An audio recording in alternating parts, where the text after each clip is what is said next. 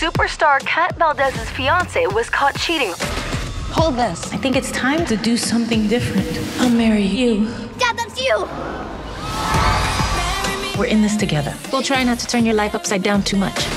You might be a little late for that. People are like, he looks like he's in math club. I am in a math club. Hanging with you guys made me feel normal. Come with me to the fall formal. You asking me to the school dance? I could leave a note in your locker.